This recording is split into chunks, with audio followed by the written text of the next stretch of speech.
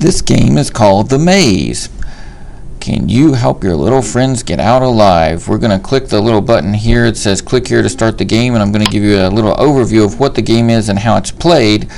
First, uh, the idea is that you have got to help your little mouse friends escape from these mazes that a professor has trapped them in. You'll have to use your brain power and your mouse moving skills to do this. I'm going to click continue button here to practice this. Basically, the way it works here is you're going to have your little mouse here and you want to guide him through this maze so that he can get out safely and reach down here to the exit button. Watch out if you touch any of these walls you'll have to start over again. So I'm going to click the mouse here to begin. And now basically I'll guide my little mouse through here. If I was to touch any of the walls, it would bounce me back and make me try it again. So here I'm going to come down and click on top of exit. Now we're going to click on this square to keep going. From here, we get some instructions on how to answer some questions because what we're going to have to do is answer some questions that our instructor or another student has put into the PowerPoint game in order to get to the next mouse game that's obviously going to get harder each time we go. So I'm going to click continue. I'm ready to answer questions. And basically the question would appear here. There are four possible answers here. If a student was to click the wrong answer, in this case what is 2 plus 2, I'm going to select 3.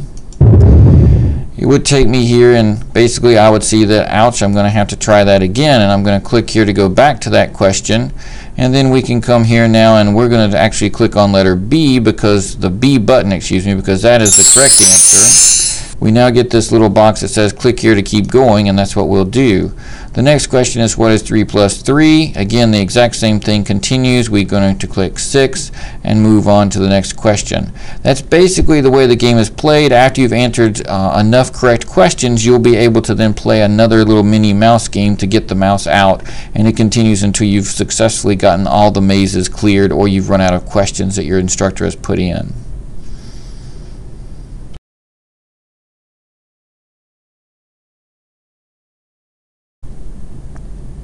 So I want to talk with you now about how to edit the maze game. Basically what you're going to do is open the maze game template and the first thing I advise you to do as an instructor or a student who's about to add questions to this game is to sit down and decide how many questions do you want to have. The default setup for the game is going to be about 15 or 16 but you can make it be whatever you want to. So that's what I encourage you first to do is decide how many questions you need, then count and see how many questions the actual game has and see if you need to add a few more in or delete a few from the actual set. First off here, I'm going to show you how we edit a question. I'm going to click on slide 7, which is the first question slide. Basically, all you will do is come in here and you will delete the text where it says to place your question here and I'm going to type what is 2 plus 2 question. You'll notice it tells you that the incorrect answer A goes here, so we need to make that an incorrect answer. Correct answer B goes there, so I need to put the correct answer there. And incorrect C, and then incorrect D goes there. So after we've placed those on the board, then we now can move on to our next question slide. Again, this is PowerPoint, so you can make these questions as big, as small as you would like um, put in extra clip art, put in a uh, photo, anything you wanted to ask a question about, and then you could put it all right here. I'm going to show you here that we would just simply continue on changing these questions up here as we go. Now one thing, if you needed to add an extra question, let's say, before, uh, right after this one, we wanted to add another question. We needed more questions. What we would do is simply right click on the slide and choose duplicate slide. Right click on the slide and choose duplicate slide. Now that is for Office 2007. If you were using Office 2003 version of PowerPoint or earlier, you would click on the slide, go to the insert menu and choose duplicate slide. Uh, click on the slide, go to the insert menu and choose duplicate slide. But for this purposes here, we're simply going to click duplicate slide. Now it's important that you do that instead of like right clicking and choosing copy because that will leave out very important parts of this slide that we want. So don't choose copy and paste, choose duplicate slide. Now from then, after that, I do encourage you to move the slides around a bit. I'm going to click and drag these around a little bit so that there is no pattern to ABC following order or anything like that. You want to just make sure that you don't have like three questions that are all answer C in a row, those kind of things. So as you can see, as we scroll down here, here's a little mini game, and then here is some more questions. You'll also notice that there are some true false questions in here. Um, and these that you would do is just follow the instructions and make the entire statement true here, because this is the correct answer is true. And on the following slide, you need to make it false because it's a false. If you don't need a true false, you can delete these questions. If you want to use them later, you can drag them down and move them somewhere else. If you want to use more true false, just right click and choose duplicate or um, make more of them by however you want to do that there if you need more. So I'm going to scroll on down and show you. Then here comes another little mini game in here. And lastly, we keep on going like this. So again, basically what you want to do is before you start, decide how many questions you have and see if you need this many questions or if you need to delete a few before you actually get started or if you need to add a few before you get started. And that's basically how you edit the maze.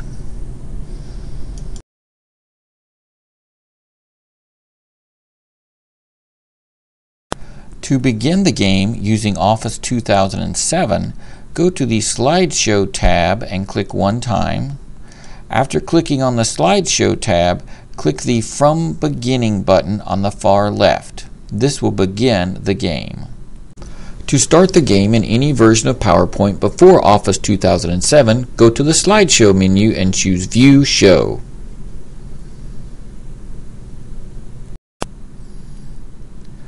This game is designed for individual student use. It is designed to be used in a one computer to one student setup. Suggested uses are to place a finished game onto a resource computer in a classroom and allow the students to play the game for enrichment or review. Alternatively, you could place a finished copy in a computer lab and place one copy of the game on each computer or on a school server.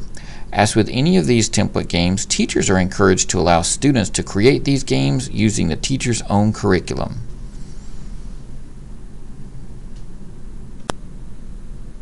If you receive a security alert when beginning this game and you're using Office 2007, simply click the Enable This Content button and then click OK. Please note, if you are using a version of Microsoft Office prior to Office 2003, some of the features in these games may not function properly. It is advised that you do your editing of the PowerPoint slides or games in your older version, and then use Microsoft's free PowerPoint viewer for actual gameplay. To download the free viewer, just do a web search for PowerPoint Player 2007.